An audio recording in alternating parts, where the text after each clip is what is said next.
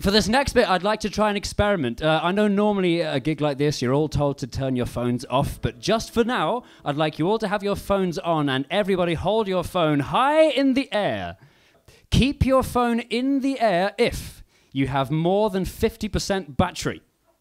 Okay, some have shut down. Keep your phone in the air if you do not remember seeing in the last 24 hours a message saying storage almost full. Okay, those of you who've got your phone in the air, do you guys want to film my next video for me?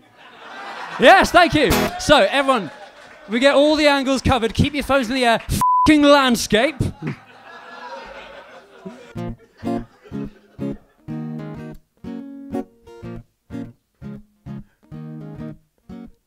Went into a gentleman's club and wasn't I delighted?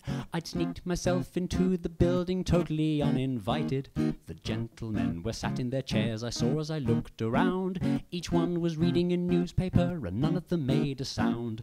My presence caused the gentlemen to pause from reading the news. They glanced in my direction and then down towards my shoes. And they said,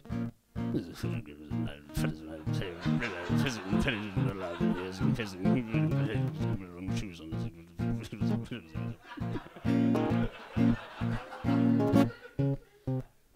important man was summoned by one of the gents immediately. He whispered something into his ear, then they both looked at me. And not before long, two burly gentlemen whisked me from the floor and dragged me firmly by the trousers back towards the door. I kicked and screamed, I yelled, I bawled, they threw me in the street. I painfully dusted myself off and slowly rose to my feet. And I said,